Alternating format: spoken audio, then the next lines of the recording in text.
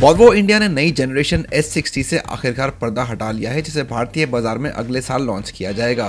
Company जनवरी 2021 में car की booking शुरू करेगी और मार्च में इसे लॉन्च किया जाएगा। वैश्विक बाज़ार में दो साल पहले ही S60 को लॉन्च किया जा चुका है, जिसे कई सारे बदलाव मिले हैं, जिनमें चौड़ी ग्रिल बदले हुए हेडलैम्प्स बदली हुई सी आकार की एलईडी टेल लाइट्स और नए अलॉय व्हील शामिल हैं।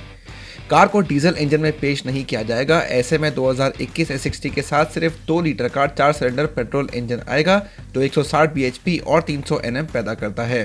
वॉल्वो ने यह भी पुष्टि कर दी है कि 2021 में ही देश में इलेक्ट्रिक मोबिलिटी सेगमेंट की वॉल्वो XC40 रिचार्ज को लॉन्च किया जाएगा।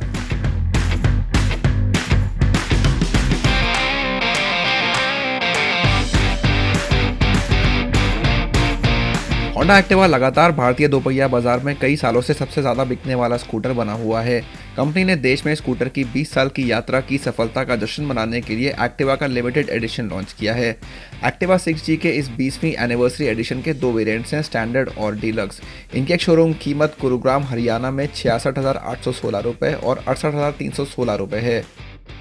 इस सामान्य मॉडल के मुकाबले दो हज़ार ज़्यादा है। बीसवीं वर्षगांठ एडिशन एक्टिवा 60 बिल्कुल नए मैट मैच्योर ब्राउन रंग में आया है, जिसके साथ मेल खाती पिछली ग्रैब रेल दी गई है। साथ ही एक चमकदार बीसवीं वर्षगांठ का लोगो और विशेष गोल्डन एक्टिवा लोगो भी है। कंपनी ने इस स्कूटर के स्पेशल एडिशन में कोई तकनीकी बदलाव नहीं किया है।